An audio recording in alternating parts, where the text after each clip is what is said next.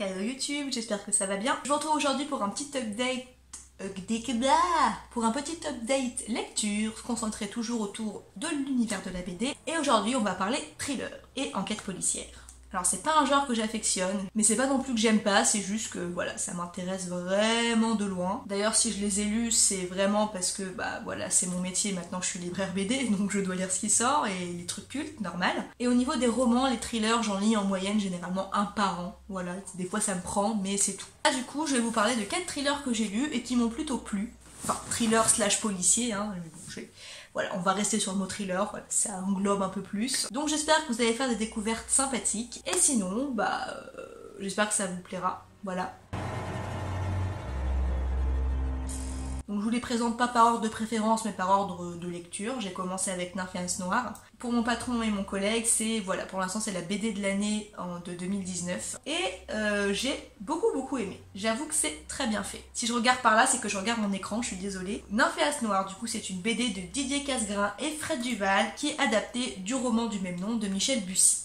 Donc si vous avez lu ce roman-là, vous connaissez l'histoire. Donc on est dans le village de Giverny en France, qui est le village où a vécu le peintre Claude Monet. Un personnage est mort, comme on peut voir sur la couverture, et on ne sait pas tout simplement bah, qui a fait quoi, qu'est-ce qui s'est passé. On nous présente en personnage trois femmes, et le tout est de savoir et de voir comment va s'encastrer tous ces personnages et tout le scénario dans l'affaire qui nous intéresse. Pour commencer, les dessins sont hyper soignés et vraiment représente bien l'ambiance de l'œuvre. Alors là, on est plus sur un thriller posé. En fait, tout se joue dans la narration, dans la manière où est racontée l'histoire. C'est-à-dire que c'est pas une enquête policière où vous allez avoir, euh, je sais pas, des, courses-poursuites de ouf, euh, quelque chose de très noir, très sombre, un truc qui repose vraiment sur un... C'est pas une œuvre très mouvementée en fait dans les... Euh, dans les dans l'action. C'est un peu comme un puzzle qui s'emboîte petit à petit jusqu'à temps qu'on ait un tableau final. Pour moi, tout repose sur la narration en fait. Et c'est cette narration qui peut vous mettre ou non sur la piste de la résolution de l'énigme en fait. Moi, je sais que j'ai deviné euh, le pourquoi du comment avant euh, la fin. Je crois que j'ai commencé à comprendre euh, un peu après la moitié de l'œuvre. Il y a des, des petits indices par-ci par-là qui m'ont permis de me mettre sur cette piste. Après, je sais que voilà, il y a quand même des gens qui se laissent avoir et qui arrivent à la fin se disent waouh. Mais après, même en ayant vu venir, honnêtement, ça m'a pas empêché de prendre plaisir à lire cette histoire parce que je vous dis, le tout en fait, ça repose sur la manière dont elle est racontée et sur comment ça finit par s'emboîter. Et voilà, c'est ça qui est plaisant à suivre. Intéressant à lire aussi. Moi, c'est vraiment une œuvre que j'ai beaucoup aimée. J'ai trouvé que c'était très bien mené. Et surtout, ce genre d'histoire, ça a dû être très compliqué à adapter en BD. Et je trouve que le pari a été vraiment réussi. Et ça, vraiment, bravo. Juste pour ça, bravo, c'est vraiment bien joué. Et dernier point, c'est un one-shot, donc c'est une histoire complète en un tome.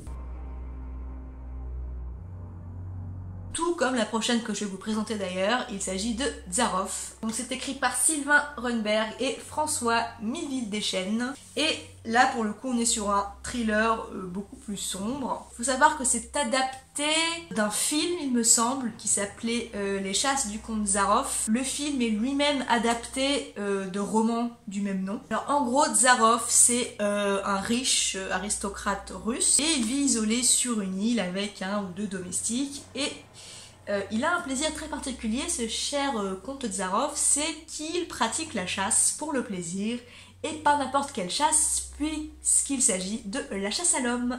Voilà. Je vais peut-être pas vous raconter, je vous laisserai découvrir, mais en gros voilà, ça va nous raconter évidemment des chasses à l'homme. Il y a des personnages qui sont amenés dans son île, et le but c'est de les traquer et voilà, en fait, son pur plaisir, c'est de traquer des humains parce que par rapport aux animaux, voilà, ils ont l'intelligence. C'est plus excitant en fait. Il y a plus de, il y a un côté plus psychologique par rapport aux réactions des proies, aux idées qu'ils peuvent avoir. Enfin voilà, c'est un peu sordide. La BD est bien faite, euh, ça fait passer un bon moment. Après, c'est peut-être un petit peu classique, on va dire, dans le genre, tout en étant très plaisant quand même. Mais voilà. Euh, il manquait un petit truc, je trouve. C'est pas. J'ai beaucoup aimé, mais voilà, il manquait un petit truc pour vraiment que ça, sorte vraiment du lot. Mais ça reste dans le genre une bonne BD. Si jamais ça vous intéresse comme histoire, je vous recommande, tout simplement. On va passer à mon coup de cœur de cette sélection, donc le premier tome de RIP. C'est écrit par Julien Monnier et Gates, j'espère que je prononce bien. Donc c'est une saga qui va s'articuler autour de 6 tomes et en fait vous avez plusieurs personnages principaux et chaque tome ça va être en fait l'histoire racontée du point de vue d'un personnage différent. Donc pour ce premier tome on rencontre le personnage de Derrick et Derrick exerce un métier très particulier. Euh, en fait dans la vie tout simplement il y a des gens qui malheureusement meurent dans l'indifférence générale tout simplement soit parce qu'ils ont plus de famille, qu'ils sortent jamais de chez eux ou voilà, qu'on sait pas trop, et en fait leur mort est constatée euh, des jours, des semaines, des mois, voire parfois même des années après. Et euh, leur boulot à Derrick et ses collègues, c'est d'aller chez ces personnes mortes. Donc voilà, ils touchent pas au cadavre, ils vont juste récupérer les objets de cette personne. Donc alors évidemment, ils sont très contrôlés pour qu'ils pour qu'ils récupèrent pas les objets de valeur et qu'ils les gardent pour eux. Voilà, c'est pas très joyeux, je vous l'accorde. Du coup, on découvre le personnage de Derrick qui nous raconte un petit peu son métier, son quotidien. Et on voit que c'est un personnage voilà, qui n'est pas très heureux, qui voudrait avoir d'autres opportunités de vie, qui, euh, qui rêve un peu d'autre chose, mais qui en même temps est un petit peu coincé dans cette société, on va dire, et qui, voilà, enfin voilà, c'est un personnage... Euh, j'ai réussi, à le comprendre, après, il n'est pas très attachant non plus, mais en fait, c'est une saga qu'on lit pas pour les personnages attachants, clairement. C'est vraiment l'histoire qui est intrigante, vous allez voir après. Un jour, sur un des cadavres, Derrick repère une bague qui a l'air de valoir assez cher. Et euh, il va craquer, voilà, ça va être la fois euh, pour lui la chance à saisir. Il va essayer de dérober cette bague. Et il se dit, bon, au pire, c'est qu'une bague, il y a peu de chances qu'on remarque sa disparition, etc. Mais le fait est que euh, c'est ce qui va arriver très rapidement. Justement, cette bague va vite être demandée par la famille du mort en question, ce qui plonge un petit peu d'Eric euh, dans la difficulté, et surtout ça va créer des tensions avec ses collègues, parce qu'évidemment ils vont tous commencer à se soupçonner les uns les autres. En lisant cette BD, on est juste passionné par ce qui se passe, en fait on se demande vraiment euh, qu'est-ce qui se passe avec cette bague, quel est le mot euh, de cette histoire, pourquoi elle est si importante, et surtout on se demande ce qui s'est passé à la fin. Alors du coup là je peux pas vous le dire, mais à la fin tu te dis waouh waouh waouh attends attends, il s'est passé quoi là? L'ambiance est vraiment hyper glauque et hyper sordide, mais ça va bien avec l'histoire du coup, et c'est très prenant. Euh, le fait que ce soit un tome centré sur chacun des personnages principaux, ça m'intrigue également. Je veux trop savoir euh, le fin mot de cette histoire en fait. Si vous aimez ce genre d'histoire et si tout simplement ce titre vous intrigue, n'hésitez pas à tenter le coup, c'est vraiment trop cool.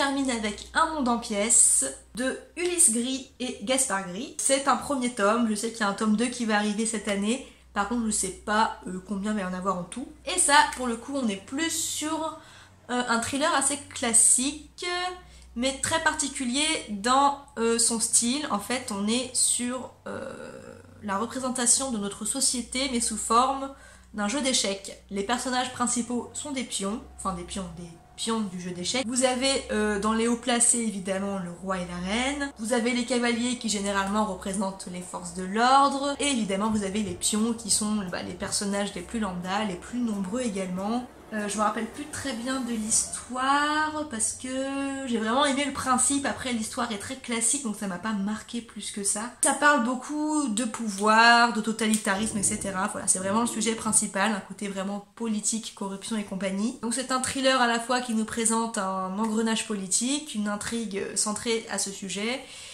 et tout en restant une allégorie de notre propre monde. Je l'ai répété à cette fois, je crois, ça suffit. Et vraiment, c'est hyper intéressant et visuellement parlant, j'ai trouvé que c'était très bien joué et que c'est vraiment tout en noir et blanc.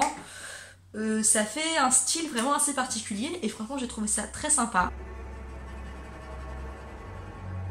J'espère que vous avez trouvé chaussures à votre pied. Est-ce qu'il y en a un qui vous tente dans le lot? N'hésitez pas à me dire lequel.